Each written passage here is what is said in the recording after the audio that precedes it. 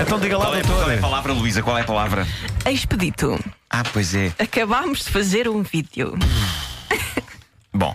É um eh, pedido que não é de agora, percebes? Claro, sim, claro. É. Também Bom, título havia deste essa opção, episódio. havia essa opção. Claro.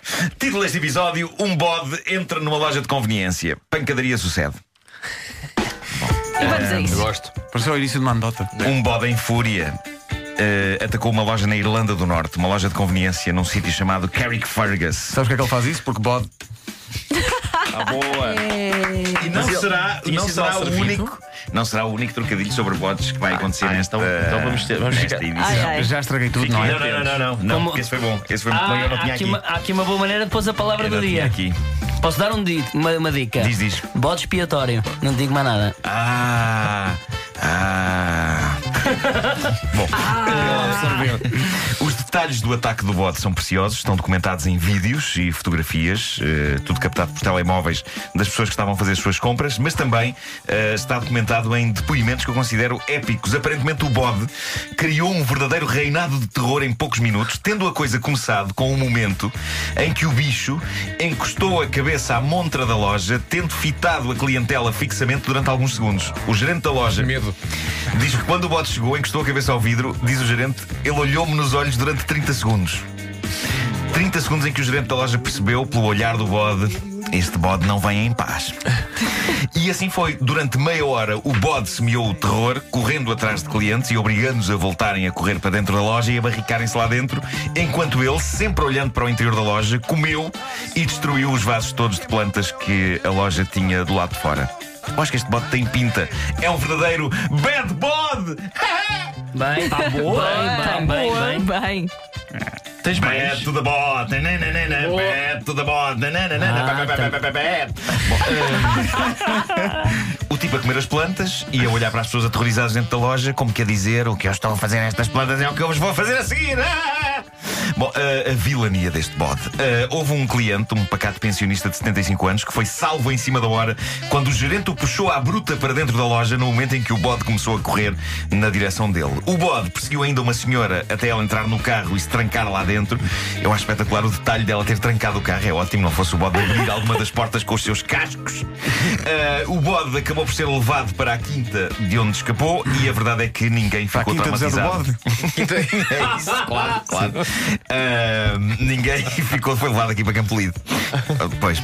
Ah, ninguém ficou traumatizado com o incidente, pelo contrário, o gerente da loja diz que foi hilariante e que foi o melhor momento do seu dia. Eu, eu adoro bodes, eu adoro bodes e eu- os bodes têm naturalmente um ar irritado com a vida. Vocês vão de reparar, se vocês forem ao Google e procurarem fotografias de bodes, Não quero fazer ah, isso.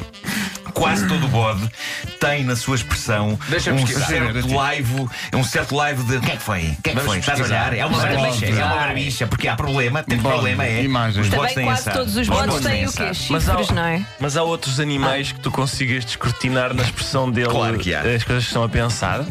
Cita, por exemplo, um pombo. Pombo. tu gostas muito.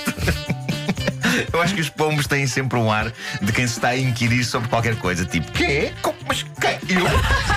Hum? Quem? Como assim? Como assim? Hum?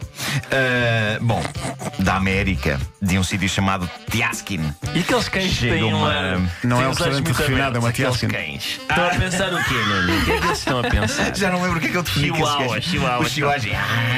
Isto vai dar, isto vai dar mal vai dar. A sério, os chihuahuas têm esse ar. Não tem, tem repararam, ar. os chihuahuas têm esse ar de isto vai dar. Bom, ahm, da América, de um sítio chamado Tiaskin, chega uma história Pedro, de violência. Mas o que é que ele fez? É Não é ele um disse? restaurante refinado, é uma Tiaskin. Continua. Ah, ok. Bom. Ah, é uma história de violência, curiosamente, não foram. e passam logo à frente avançar. Não, não, mas é que simplesmente tem que acontecer. É como o ar, é como ar, as tuas piadas são como o ar, já estão respirando ar, hoje. mas que cheira. Bom, eh, não foram pontapés e murros aquilo que provocou mais ferimentos nos envolvidos nesta cena de pancadaria. Isto é lindo. Diz a notícia que numa casa, um tipo de 23 anos entrou em discussão com outras três pessoas. A coisa começou com gritaria, depois houve empurrões, depois houve chapada e soco e por fim houve o clássico rebolão no chão. Pessoas agarradas umas às outras à pancada. E é aqui que surge o detalhe maravilhoso de toda esta história. As pessoas, de acordo com a polícia, ficaram de facto cheias de escoriações devido não à tareia, porque aparentemente nenhuma daquelas pessoas sabia aviar pancada decentemente, mas devido ao facto do chão estar cheio de legos.